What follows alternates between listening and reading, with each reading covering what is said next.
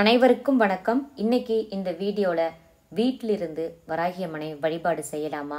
முறையாக வழிபாடு செய்வது எப்படி? மற்றும் வராகியம்மனை வழிபட்டால் என்னென்ன நன்மைகள் கிடைக்கும்?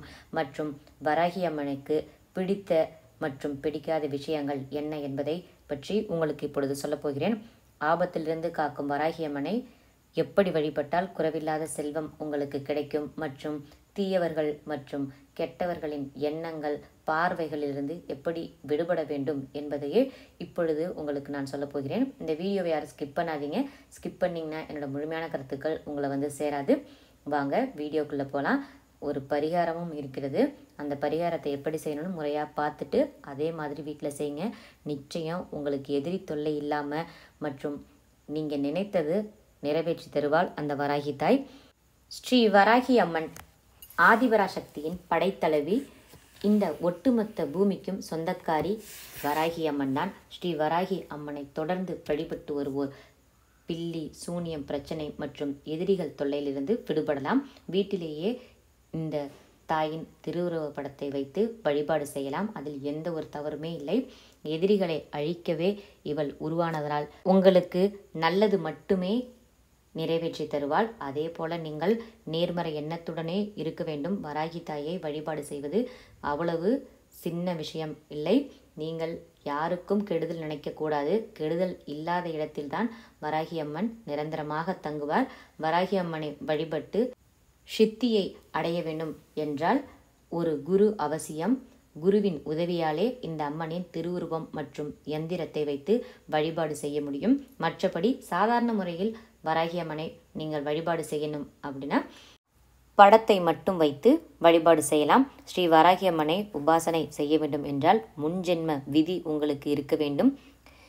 இதை ஸ்காத்த வழிபாடு என்றும் கூறுகிறார்கள் ஆச்சாரிய பெருமக்கள்.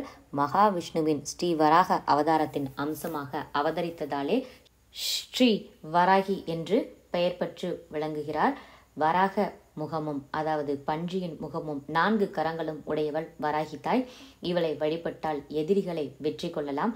வராகி அம்மனை செவ்வாய் மற்றும் வெள்ளி என்றில்லாமல் தினமும் அஷ்டோத்திரம் சொல்லி குங்கும அர்ச்சனை செய்து வழிபாடு செய்வது கூடுதல் சக்தியை கொடுக்கும். மேலும் அஷ்டோத்திரத்தில் உள்ள அந்த அம்மனின் நாமங்களை சொல்லியும் நீங்கள் வழிபாடு செய்ய வேண்டும். வராகி அம்மனுக்கு மிகவும் பிடித்தது காய்ச்சிய பால் காய்ச்சிய பாலில் சர்க்கரை கலந்து நெய்வேத்தியம் நீங்கள் செய்து வழிபாடு செய்யலாம். பஞ்சமி மற்றும் வெள்ளிக்கிழமை ஆகிய நாட்களில் தேங்காய் பூரணம் சர்க்கரை பொங்கல் கேசரி ஏதாவது ஒன்று செய்து நெய்வேத்தியம் செய்யலாம். அதோடு சர்க்கரை வள்ளிக்கிழங்கு வெள்ளரிக்காய் ஆகியவற்றையும் நெய்வேத்தியம் செய்து நீங்கள் வழிபாடு செய்யலாம். உங்களுக்கு கஷ்டம் கடன் பிரச்சனையிலிருந்து விடுபட வேண்டும் என்று எண்ணுபவர்கள் ஒரு தேங்காயை உடைத்து இரண்டு மூடிகளிலும் நெய் விட்டு பஞ்சு திரி போட்டு குங்குமம் இட்டு தீபம் ஏற்றி அந்த தீபத்தை தானாகவே மலையேற விட வேண்டும். இந்த விளக்கை நீங்கள் வீட்டில் போட வேண்டாம். இந்த விளக்கை நீங்கள் பைரவர் சன்னதி இருக்கும் கோவிலுக்கு சென்று வராகி அம்மனை நினைத்து நீங்கள் இந்த விளக்கை போடலாம். அல்லது வராகி அம்மன் கோவிலே உங்கள் வீட்டின் அருகில் இருந்தால் வராகி அம்மன் கோவிலுக்கு சென்று நீங்கள் இந்த விளக்கை போடலாம். இந்த தேங்காய் விளக்கை பிரச்சனை உள்ளவர்கள் மட்டும்தான் போட வேண்டுமா என்று கேட்டால் அப்படி இல்லை. உங்கள் வீட்டில் சந்தோஷம் நிலைத்திருக்க வேண்டும். எந்த பிரச்சனையும் வரக்கூடாது. எந்த விதத்திலும் எதிரிகள் தொல்லை உங்களை நெருங்கக்கூடாது என்று கூட நீங்கள் நினைத்து இந்த தேங்காய் விளக்கை போடலாம். அதுவும் பஞ்சமி திதி என்று போடுவது மிகவும் சிறப்பான பலனை கொடுக்கும். பிராமி மகேஸ்வரி வைஷ்ணவி வாராகி கௌமாரி இந்திராணி ஷாமுண்டி ஆகியோரை சப்த கன்னி என்று கூறுவார்கள். மேலும் யோகேஸ்வரி என்ற தெய்வத்தையும் சேர்த்து அஷ்ட மாதர் என்றும் சொல்வதுண்டு. சப்த மாதர்களான ஏழு கண்ணீரின் உருவங்களை ஒரே கல்லில் வடிவமைத்திருப்பார்கள். பழமை வாய்ந்த சிவாலயங்களில் இது ஒரு பரிவார சன்னதி. பெரும்பாலும் ஆலயத்தின் தெற்கு பிரகாரத்தில் வடக்கு நோக்கியவாறு சப்த மாதர்கள் பிரதிஷ்டை செய்திருப்பார்கள். முற்காலத்தில் இவர்களை புடைப்பு சிற்பங்களாக வடிவமைத்திருந்தார்கள். புடைப்பு சிற்பம் என்றால் ஒரே கல்லில் அனைத்து தெய்வங்களையுமே வடிவமைப்பது. ஆனால் இப்பொழுது சில கோவில்களில் தனித்தனி உருவங்களாக நாம் இந்த சப்த மாதர்களை பார்க்கலாம். இவர்களுக்கு காவலாக வீரபத்திரர் மற்றும் விநாயகரின் திருமேனியையும் பிரதிஷ்டை செய்திருப்பதை நாம் பார்க்கலாம்.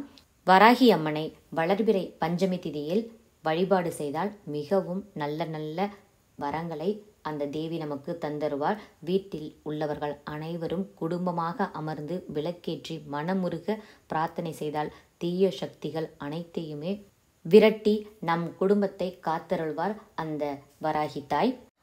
ஏழேழு தலைமுறைக்கும் நம்முடைய குடும்பம் செல்வ செழிப்போடு சிறப்பாக வாழவும் கஷ்டம் என்ற வார்த்தையே நம்முடைய பரம்பரைக்கு வராமல் இருக்கிறதுக்கு வராகி அம்மனை இந்த மாதிரி வழிபாடு செய்யணும்.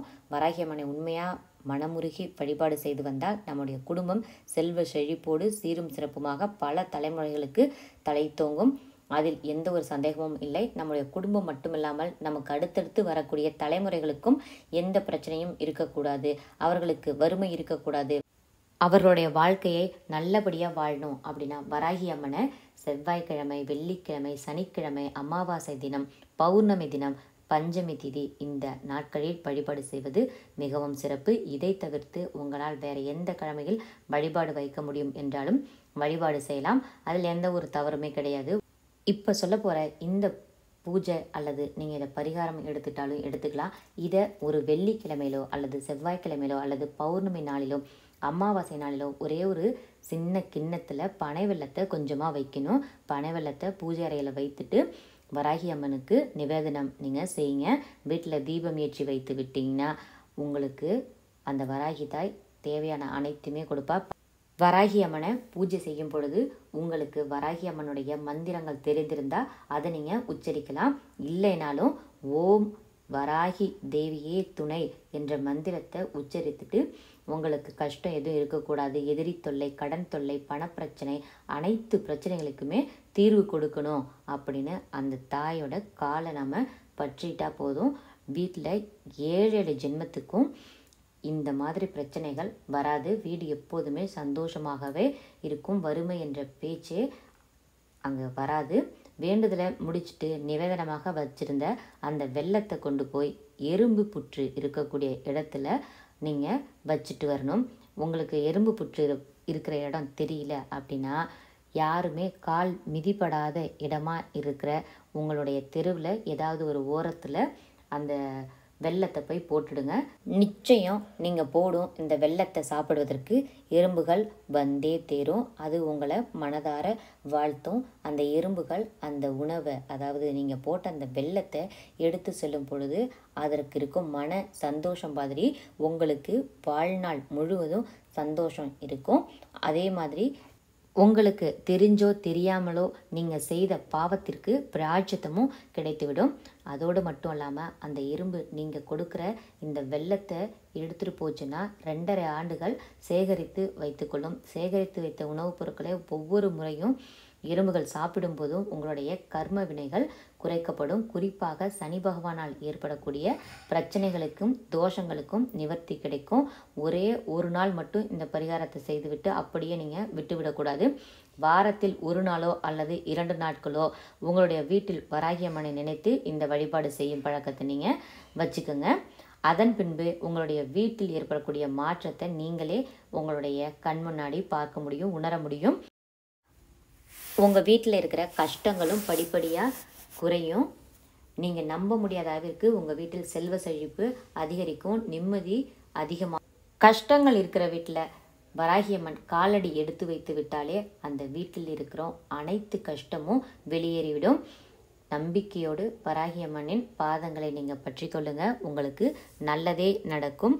இந்த வீடியோ பிடிச்சிருந்தா ஒரு லைக் கொடுங்க கமெண்ட் கொடுங்க ஷேர் பண்ணுங்கள் நன்றி வணக்கம்.